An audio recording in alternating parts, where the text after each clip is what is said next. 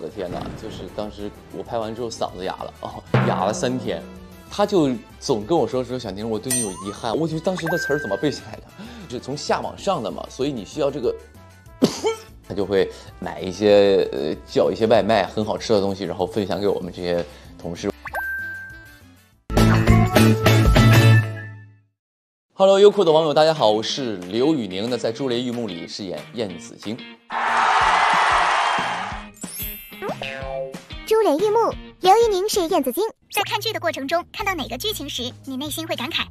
嘿，什么什么赛道让我刘宇宁闯进来了？有钱人的身份吧，可能就是这个。作为一个珠宝商人嘛，然后又有经商头脑，我好像真的没有演过这种，就是纯智商很在线、很高，然后呢武功又好、很有钱的一个人，就挥金如土，然后可以用自己赚来的钱去完成他的一个所谓的一个目的、一个目标、一个终极梦想的一个一个人物，就感觉花花不完的钱。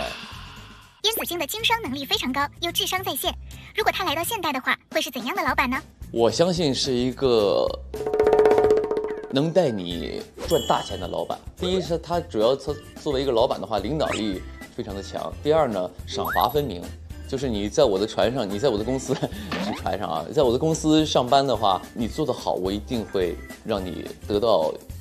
非常可观的一个收入，然后呢，但是你做错了，那一定要接受惩罚。对，所以，我我的公司管理制度，我相信是非常的好。想加入燕子京的商队？对，这就是我的经商理念。剧中有很多名场面，我们选出了其中两个名场面来聊聊幕后故事。第一个，燕子京得知妹妹不在人世，那场戏算是一个情绪爆发戏。其实呢，演员可能都比较期待这种的吧，他可能他属属于一个重场戏，你可以有一些所谓的发挥啊，会让自己很沉浸在里面。然后这是第一，第二呢，就是我的天哪，就是当时我拍完之后嗓子哑了哦，哑了三天。你，老子，老子，我要杀了他！你，老朱，我要杀了你！你他杀了他也无济于事，老朱。我妹妹还那么小，你们怎么忍心？你们怎么忍心？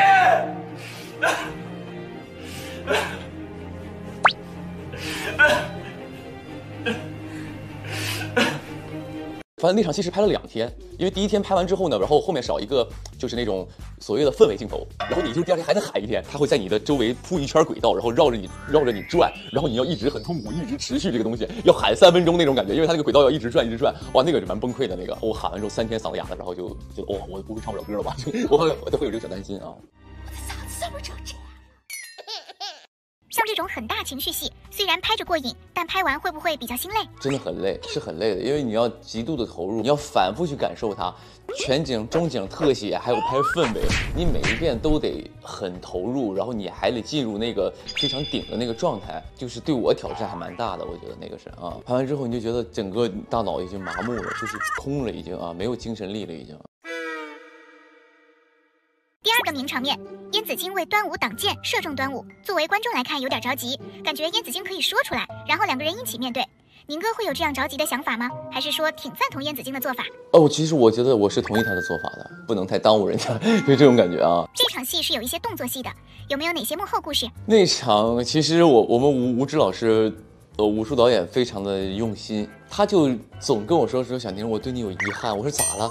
他说就觉得我我们这个打戏呀，就没给你拍的特别帅。他想说那那场戏给我拍的复杂一些，给我动作很厉害很帅，然后呢，就是从那个画面上感觉很漂亮，然后就是让观众觉得哦，这场戏很很很很精彩。但是那场戏呢又。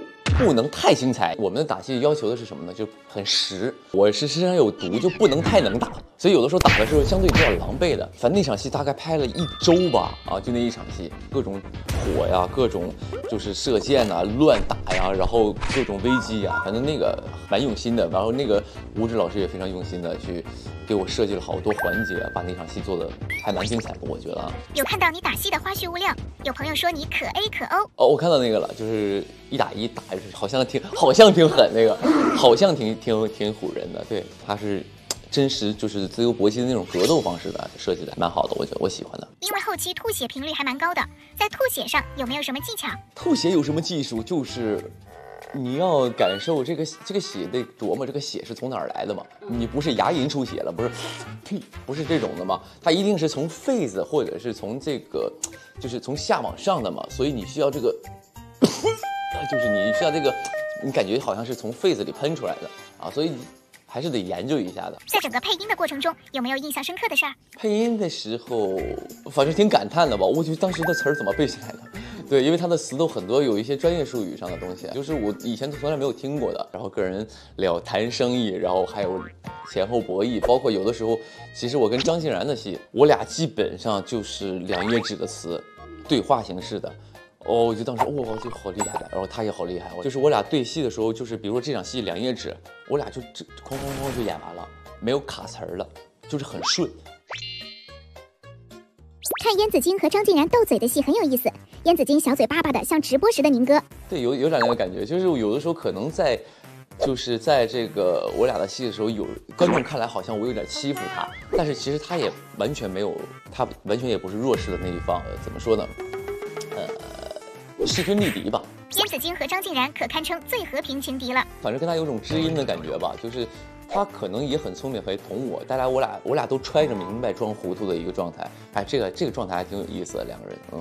燕子京是什么时候开始注意到端午，然后一点点喜欢上他的呢？我觉得作为燕子京来说，他已经看惯了这个世间的所有的疾苦，且他是一个悲惨之人，所以他的同情心可能没那么强烈，因为他遭受的苦是别人遭受不了的，也没有经历过的。可能大家都说你很苦，我很苦，但是都没有燕子京苦。我在燕子京心里，因为他从小就父母双亡，然后失去了本幸福的家庭，且又被在离龙洞里遭受了八年的摧残，然后就是过得跟狗一样的生活，所以就是。就从狗的嘴里抢饭吃那种感觉，就特别的卑微，特别的惨。那所以他看到人间所有的疾苦都，其实他已经相对来说麻木。但是第一次他遇到端午的时候，就觉得他跟我会觉得啊，他跟自己有一点像，因为他就是一个也遭受着同样疾苦的一个人，然后在求活的一个人，然后他又很努力的想要活下去，且意志坚定，且又很勇敢，所以可能。第一面见到了他的时候，看到了他这个勇敢的一面，然后一点点觉得，哎，这个女孩可能不太一样，可能那个印象是从浅至深的吧。嗯，看花絮就能感受到片场氛围很好，大家会一起玩游戏，一起拍短视频。一般谁是短视频的发起者呢？哦，那肯定是段武吧。对，就他就是比较的知道怎么拍，教我们怎么拍，然后有很多很棒的创意什么的。然后他也很热情，就帮我们，包括帮我拍了好几个那种的。他还回去给我做后期，我就觉得，就我一看，我这么我有这么好看吗？我就会有这种感觉。我说我有这么好看吗？我这拍的真棒。哪一条？还没还没发呢，到时候发了就知道了。对你一看你就觉得，哎，这条挺好看的，那就是他拍的，估计。对。